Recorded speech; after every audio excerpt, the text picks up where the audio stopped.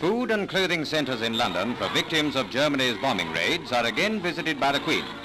Wherever Her Majesty goes, there's always a cheering crowd to welcome her. At this centre, the Queen talks to homeless children at play. One busy group of boys and girls have made a model dairy farm in plasticine, a model of a place where you could once buy butter. Now it's the home of the Wizard of Two Oz. Oh, OZ? Oh yes, ounces.